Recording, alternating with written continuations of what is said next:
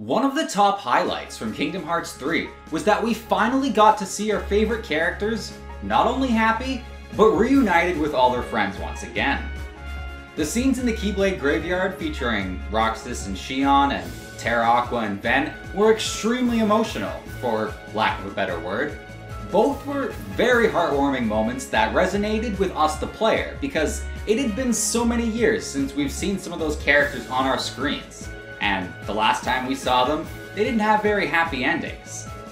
But all that's in the past now, as we look towards a new saga in the Kingdom Hearts series, the Lost Masters arc. The KH4 trailer showed us a tiny glimpse of what is to come, featuring characters like Sora, Strelitzia, and even Donald and Goofy at the end of it. But what about those whom they didn't show?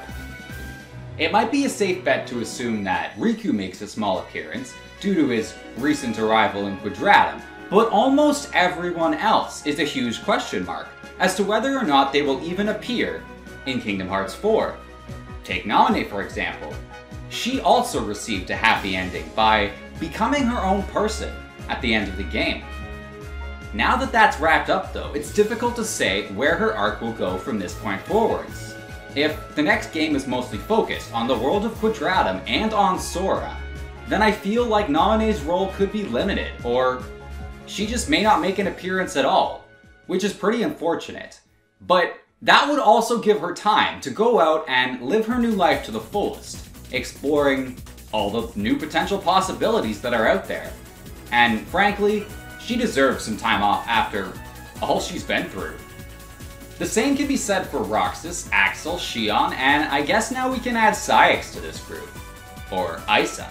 As much as I would love the return of all these characters immediately in the next game, I would also understand if they gave them some time to breathe, hang out, and just be themselves in Twilight Town for a while. Because like Naminé, Roxas and Xion never really had much of a chance to exist outside the clutches of the organization. When it comes to this group of characters, there's really only one avenue in which I see them being directly involved with Kingdom Hearts 4, and that is if they decide to focus on a side story of finding out the whereabouts and identity of Subject X.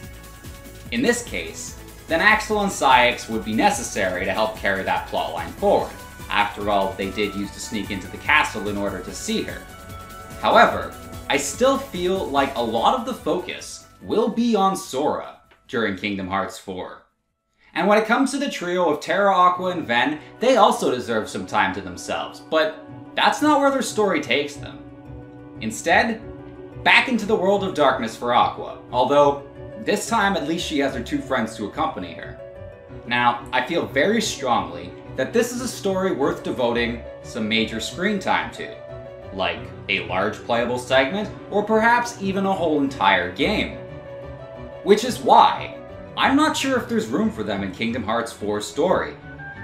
I feel they need some more screen time than what that game would give them. And Kairi? Well, that's a bit of a tough one. I've gone on record before saying we will get to experience her training ourselves as a playable character, and I still believe this to be the case. But I'm starting to wonder just how much of the Realm of Light we will even see in the next entry. And in this case, will they save her training for another game? After all, Kingdom Hearts 4 is only the first in what is certain to be a lengthy saga. There will be plenty of time to get to play as Kairi and all these other characters as the years go on. We may not get these games as quick as we want, actually, we definitely won't, but they are coming. In the meantime, I want to know which characters in particular you think won't make an appearance in KH4, and what is the reason you feel that way? Just leave a comment down below, and feel free to hit like or subscribe if you want to help out and support the channel. Otherwise, have yourself a great day. May your heart be your guiding key, my friends. And remember, happy gaming.